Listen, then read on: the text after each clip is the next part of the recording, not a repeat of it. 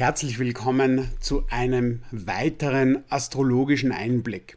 Und ich möchte vorneweg schicken, dass ich keinerlei Agenda damit verfolge. Das heißt, weder pro oder contra von etwas bin, sondern mein Hemd neutralisiert, neutralisiert es nicht, neutralisiert, symbolisiert schon weißes Hemd, hallo, neutral.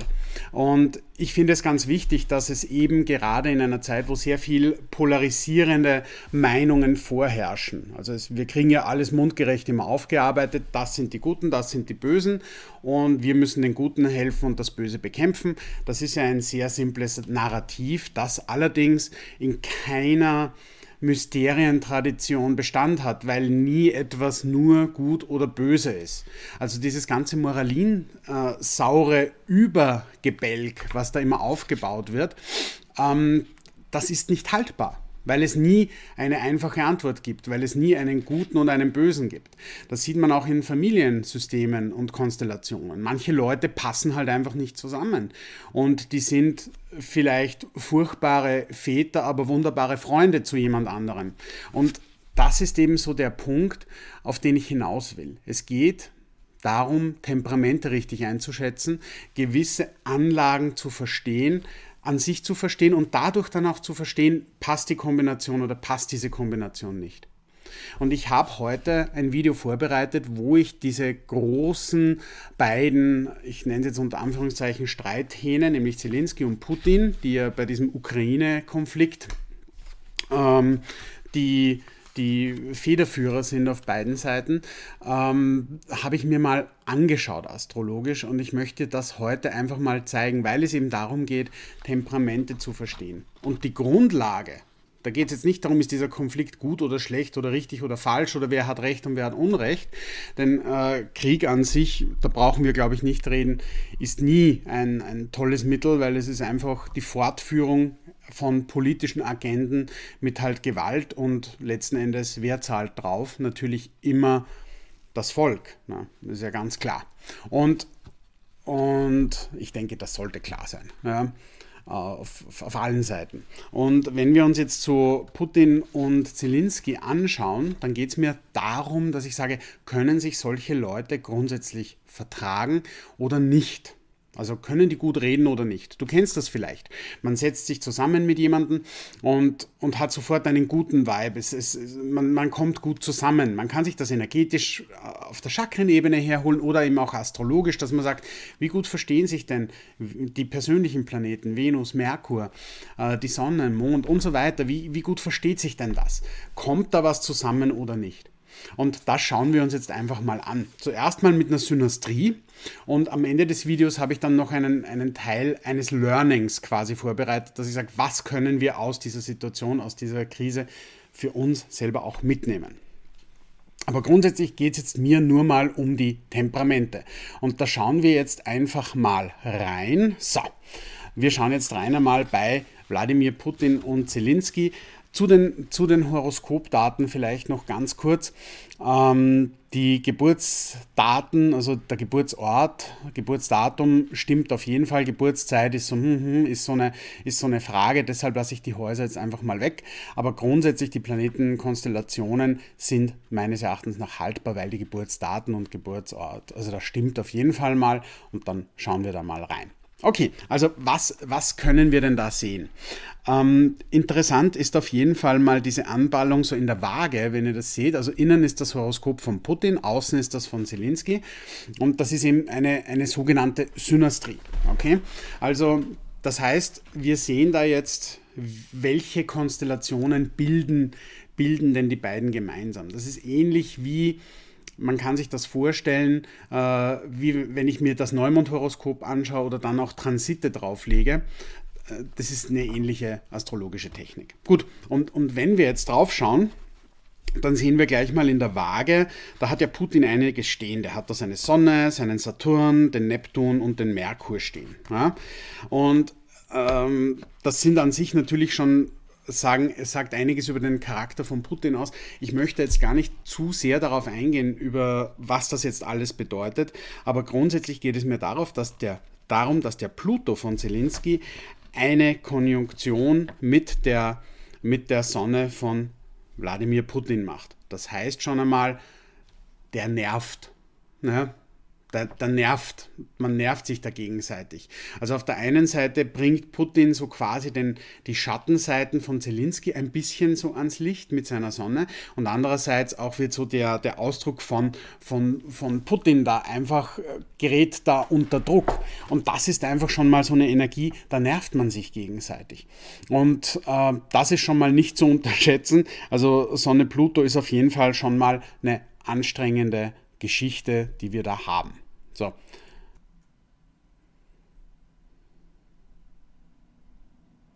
Das nächste, was jetzt, was jetzt auffällt, ist natürlich dann auch ähm, der, der Merkur.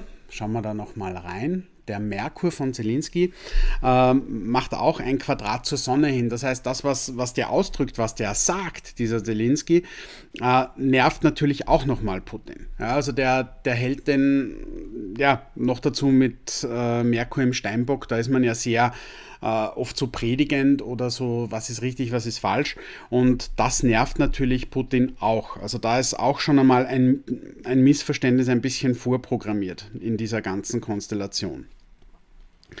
Ähm, was natürlich ganz massiv einwirkt, ist die Konjunktion. Ich habe Sonne, äh, Sonne Pluto bereits erwähnt, aber wir haben diese Konjunktion natürlich auch äh, Pluto Saturn.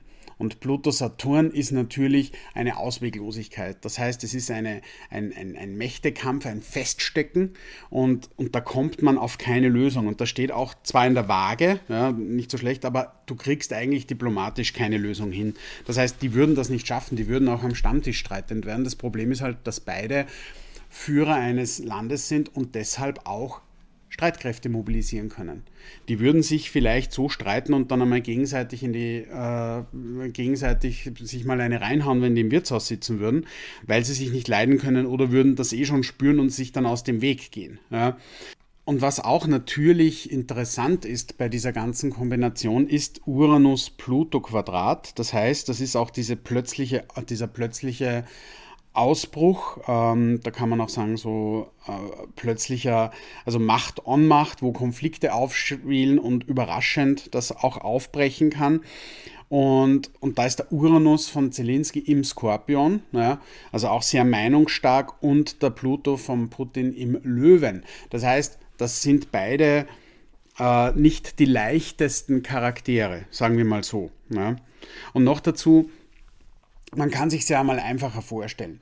Der Vollblutpolitiker Putin hat einen Schauspieler vorgesetzt bekommen, Zelensky. Und wie gut können sich die verstehen? Der kann ja den gar nicht ernst nehmen.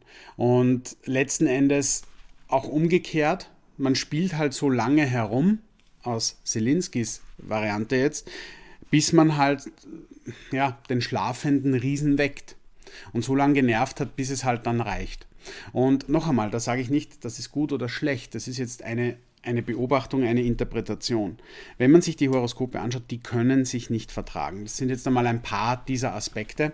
Was ich jetzt noch herausgearbeitet habe, um heute nicht zu lange zu werden, weil man müsste dann noch in die Tiefe schauen, die Horoskope einzeln anschauen, alles, alles zusammen. Das mache ich heute nicht. Da geht es mir nur darum, die Temperamente vertragen sich nicht von den beiden. Da kann nichts anderes rauskommen. Im Wirtshaus eine, eine, eine Rauferei, eine lautstarke Auseinandersetzung.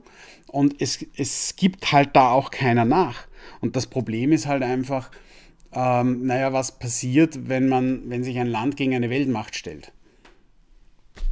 Brauchen wir nicht reden. Das ist ein No-Brainer.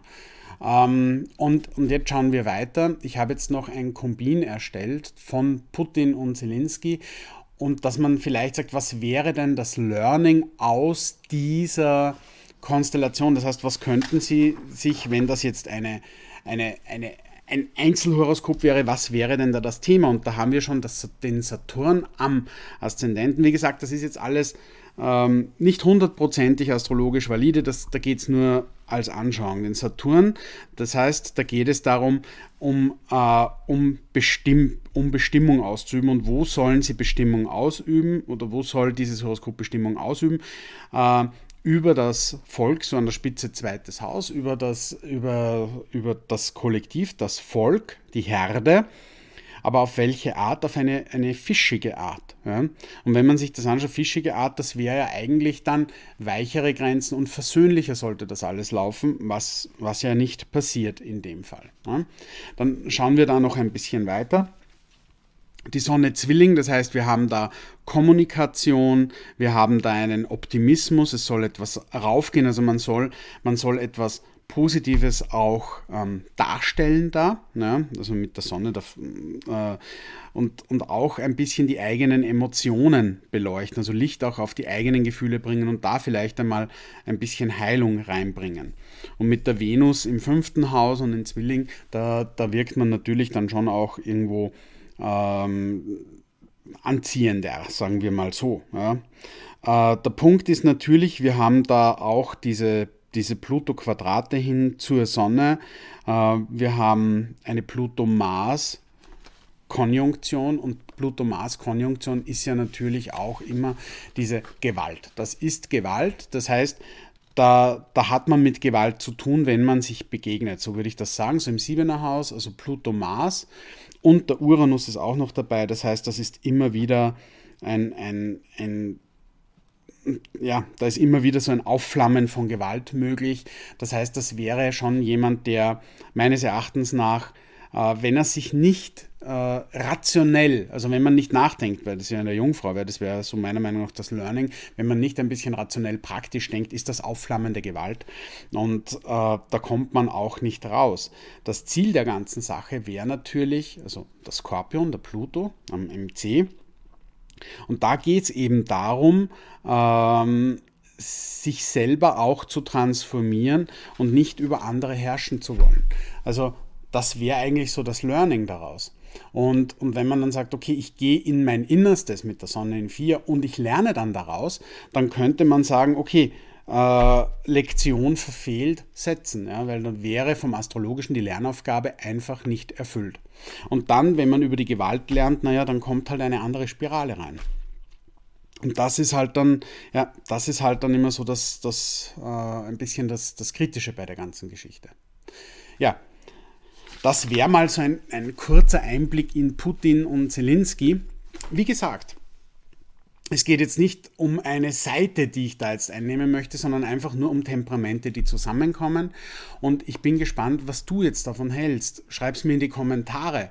Möchtest du mehr solche Vergleiche sehen? Dann schreib es mir gerne auch rein abonniere meinen Kanal, bitte teile das Video und ich hoffe, ich konnte einen kleinen Einblick geben, dass die Dinge nie so einfach sind, wie sie uns vielleicht einmal aufbereitet werden. Denn rein von der astrologischen Sicht her, auch von der energetischen Sicht, ähm, ist das nicht so haltbar.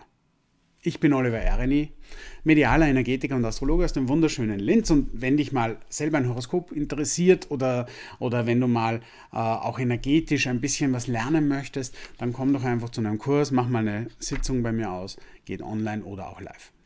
Wir sehen uns beim nächsten Mal. Danke und tschüss.